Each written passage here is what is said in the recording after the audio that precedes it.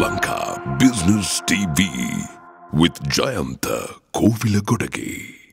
මේ වගේ අර්බුදතාවී තත්ත්වයක අපි දැනගන්න දැනගත් යුතුයි අවදානම මොකක්ද කියලා. ඒ ඒ වත්කම් ඒ ඒ ඇසට් ක්ලාසස් කියලා ඉංග්‍රීසියෙන් කියනවා. අපි ආයෝජනය කරනකොට ඒවට තියෙන අවදානම දැන් වෙනස් වෙනවා. අපි ගමු මොකද්ද වෙලා තියෙන්නේ කියලා ඉස්සෙල්ලාම මොකද්ද රටේ වෙලා තියෙන්නේ. ඇත්තටම වෙලා තියෙන්නේ අපේ රට බංකොලොත් බවට පත් වෙලා. ඒ කියන්නේ අපිට අපේ ණය ගෙවීමේ හැකියාවක් නැහැ. ඒක තමයි විශේෂයෙන්ම වෙච්ච සිද්ධිය. එතකොට ඒ සිද්ධියත් සමග ඇති වෙනවා බරපතල වෙනස්කම් අපේ රටට. ඒ මොකද ඒ ණය ගවන්න බෑ කියපු මොහොතේ ඉඳලා අපිට දෙන ණය වෙන රටවල් වලින් ණය දෙන්නේ නැහැ. බැංකුවක ඇවරෙන LCs කියන ඒවා ඕපන් කරන්න බෑ. ඒ ඒ තත්ත්වයක් ඇති වුණා එක පැත්තකින්. අනිත් පැත්තෙන් අපිට අපේ ණය දැන් ප්‍රතිවිහිුගත කරන්න අවශ්‍ය වෙලා තියෙනවා. ඒ කියන්නේ ඒ ක්‍රෙඩිටර්ස්ලා ආවට යන්න වෙනවා ගිහිල්ලා කියන්න වෙනවා අපිට මේක වෙනස් කරන්න ඕන. අපේ ණය ගෙවන්න විදියක් නැහැ ඒ සම්පූර්ණ මුදල. එතකොට ඒකෙන් වෙන්නේ ඒ ක්‍රෙඩිටර්ස්ලාත් එක්ක අපිට සාකච්ඡා කරලා එකගත්වයකට එන්න වෙනවා යක්තිසි කොටසක් ඒ ණයවලින් අයින් කරන්න. ඒ කියන්නේ 100ක් ණය තිබුණා නම් අපිට ගෙවන්න බැරි නිසා ඒක 75ක් ඔය 67ක් අන්න ඒ වගේ ගාණක් තමයි අපිට එකග වෙන්න වෙන්න පුළුවන්. එහෙම නැත්නම් ඒ ණය ඊට වඩා දිගු කාලිකව ගෙවන්න එකගත්වයකට එන්න පුළුවන්. ඉතින් ඒ වගේ සාකච්ඡාවකට යන්න දැන් අපේ රට ලෑස්ති ඒ එක බලපාන්නේ අපේ රටේ ඉන්ටර්නැෂනල් සොවරින් බොන්ඩ්ස් ජාත්‍යන්තර ස්වර්ගී බදුකර වලට විතරයි. දැනට අපි බලාපොරොත්තු වෙන්නේ මේ ඩොලර් වලින් අපි ගත්ත ණය අරන් තින්නේ ඉන්ටර්නැෂනල් සොවරින් බොන්ඩ්ස් පිට ණය කරුවන්ගේ ඒකේ තමා ඔය හැකට් කියන එක අර මං කියපු අඩුවීම බලාපොරොත්තු වෙන්නේ. නමුත් අපි ලංකාවේ තව ඩොලර් මගින් මුදල් අරගෙන තියෙනවා අපේ රජය එකට කියන්නේ ශ්‍රී ලංකා ඩෙවලොප්මන්ට් බොන්ඩ්ස්.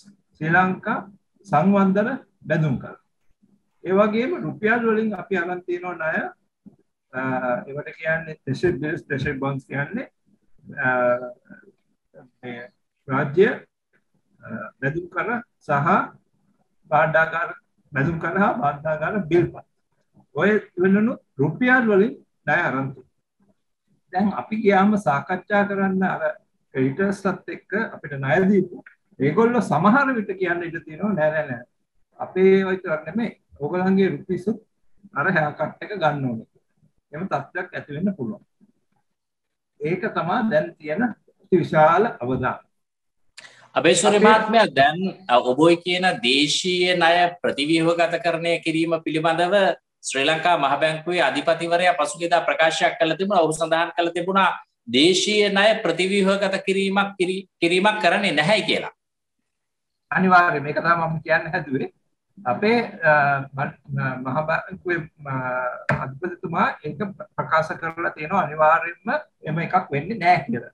නමුත් ඒ අපි අපි කියන්නේ අර පැත්තේ ඉන්නේ වෙන කට්ටියක්. අන්න ඒකයි ප්‍රශ්නේ මෙතන. අර අරගොල්ලෝ තමයි සල්ලි අපිට දීලා තියෙන්නේ. අපි කියන්න පුළුවන් ඔව් අනේ අපේ රුපියල් වලට ඒක බලපන්නේ විශේෂයෙන්ම ඉස්සර හිටිය අධිපතිතුමත් ඒක කියලා තියෙනවා. අපේ මේ ලංකාවේ තියෙන අර මං කිව්ව SLDB ශ්‍රී ලංකා සංවර්ධන බැඳුම් කර අදාගාරක බිල්පත් බැඳුම් කරවට ඒක බලපාන්නේ නැහැ. ඒක තමයි අපි බලාපොරොත්තු වෙන්නේ. ඒක තමයි අපිට හොඳ.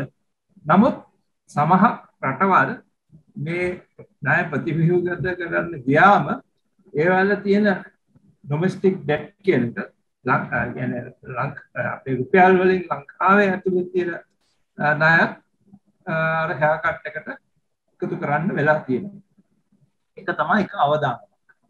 ඉතින් ඒ අවදානම බලපානවා අපි අර බණ්ඩාකාර බිල් පත්තා බැඳුම් කරවල ආයෝජනය කරනකොට. දැන් අපි දන්නව කවුරුත් ඒවල අති විශාල පොලියක් දැන් ගෙවනවා. විශේෂයෙන්ම මාස 3 මාස 6 අවුරුද්දේ අවුරුදු තුනේ සහ පහේ පැදුම් කරවලට පොලි අනුපාතය දැන් විසි තුනක් විතර ලැබෙන ඒකට හේතුකුත් තියෙනවා. ඒ කියන්නේ වැඩි පොලියක් ලැබෙන තැන වැඩි අවධානමකුත් තියෙන්න ඉඩ තියෙනවා කියන එකයි කියන්නේ. අපි සාමාන්‍යයෙන් ඉස්සර කාලේ කිව්වේ රජයේ නායකර ඒ කියන්නේ අණ්ඩාගාර පත්තා බැඳුම් කරවල කිසිම අවධානමක් නැහැ කියලා. නමුත් අර විදියට වෙනස් වුණොත් එතන අවධානමක් තියෙනවා. එක බලපානොත් තව එකකට. දැන් ඒක තමයි ඉතාම වැදගත්. අපේ බැංකු ක්‍රමය. අපේ මුළු බැංකු කියන්නේ සිස්ටමික් රිස්ක් එකක් එන්න පුළුවන් ඒක කරොත්. තව එකකට ඒක බලපානවා අපේ EPS.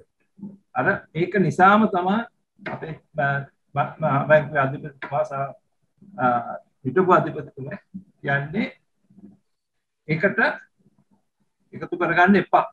කරොත් අපිට ලොකු ප්‍රශ්නයක් ඇති වෙනවා. නමුත් ඒ ප්‍රශ්නේ දැනගන්න යුතුයි මොකද්ද බැංකු ක්‍රමයට වෙන්නේ. බැංකු ක්‍රමය වල අපේ බැංකු මේ මේ මේ ආයෝජන වල මුදල් යොදවලා තියෙනවා. විශේෂයෙන්ම අර ISB වල තියෙන ඒක කොහොමත් යා කට් එක වෙනවා. ඒක මොකද ඒක ජාත්‍යන්තර ස්වර්ගීය බැංකු කර නමුත් අර ඩෙවලොප්මන්ට් බොස් ඒවත් ඩොලර්ස් වලින් එන්න පුළුවන්. අනිත් බාණ්ඩාකාර දුප්පත්කම් බැඳුම් කරවලටත් එන්න පුළුවන්. එතකොට ඒක ආවොත් බැංකු පද්ධතියට සහ අපේ EPF එකට බලපානවා ඉතාම දරුණු ලෙස.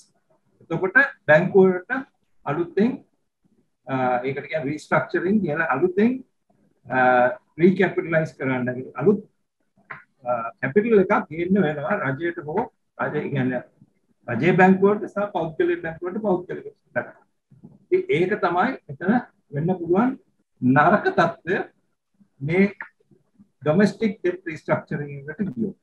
අපි බලාපොරොත්තු වෙනවා ඒක නොවේයි කියලා. ඔක්කොම නමුත් එම වෙලා තියෙනවා. ඒක තමයි අපිට අවධානම. ඒ අවධානම දැනගත යුතුමයි.